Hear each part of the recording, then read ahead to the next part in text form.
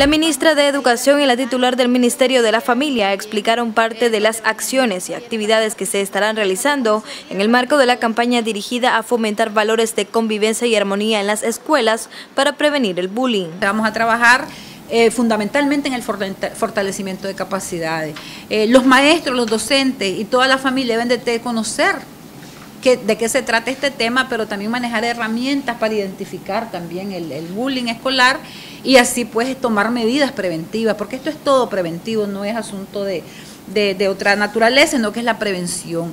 La idea es que entremos en esa convocatoria común, con creatividad, con amor, poner esas energías en entrar en este tema de la, eh, en unidad también con los gobiernos locales de profundizar esa promoción de valores para construir rutas de entendimiento que favorezcan la convivencia y armonía para vivir una vida sana, bonita y segura. Estas acciones se desarrollarán desde el modelo de fe, familia y comunidad que tiene como centro el esfuerzo común de todos y todas. Estudiantes y padres de familia aplaudieron la iniciativa que desde el modelo de fe, familia y comunidad se está promoviendo de cara a fomentar valores y desde ahí construir caminos que ayuden a la convivencia y armonía en las escuelas a través de la prevención del bullying. Esto no solamente es del gobierno, sino también de nosotros los padres de familia, ¿verdad? Para que el muchacho cuando venga aquí a clase no venga con esos resabios de, coleriento, eh, irónico, esas cosas así, con rabietas, pues. Que tienen que buscar cómo subir su, su autoestima.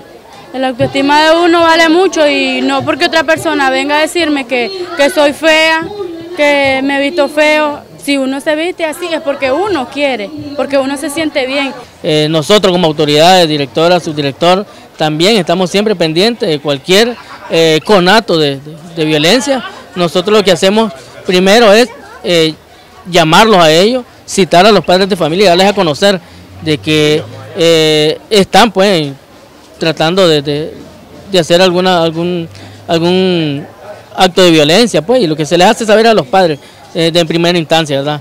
Tenemos que estar más alerta nosotros como hombres de Dios y también, ¿verdad?, como padres de familia. Yo creo que está bien, la iniciativa del gobierno está muy buena, ¿verdad?, de velar por la juventud de Nicaragua. Es muy importante eso. En el Instituto Nacional Benjamín Celedón todos los lunes y viernes, miembros de las iglesias evangélicas llegan a este centro a hablar la palabra de Dios como manera de contribuir a esa cultura de armonía y convivencia entre los estudiantes.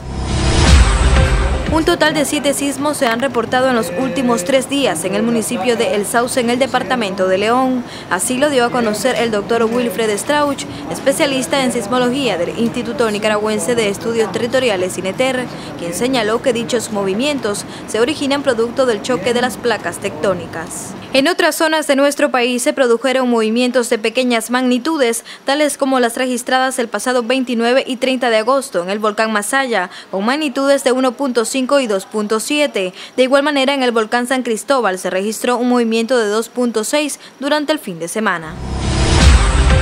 El gobierno sandinista, a través del Instituto de la Vivienda Urbana y Rural INVUR, hizo efectiva la entrega de 24 viviendas a trabajadores de la empresa Casapelas. El proyecto habitacional Villa Genova se ubica en el kilómetro 19.6 Carretera Nueva León y es posible a través del modelo de responsabilidad compartida, ya que en la realización del mismo participan el gobierno central, la empresa privada y American Nicaraguan Foundation.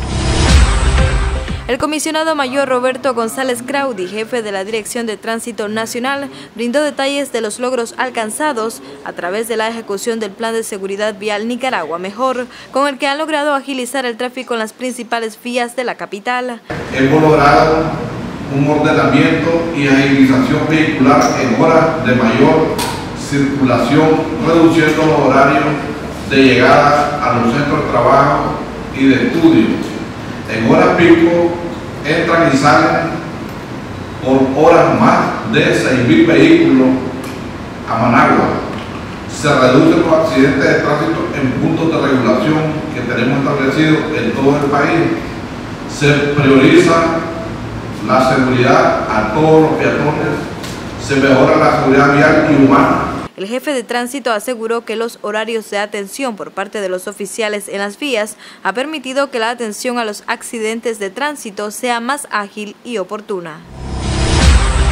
Autoridades médicas del Centro de Salud Carlos Lacayo, ubicado en el municipio de Matiare, se han sumado al esfuerzo del gobierno de reducir los índices de pacientes afectados por dengue y chikungunya. Para ello, desarrollan una serie de acciones que garantizan el bienestar de cada uno de los pobladores del sitio.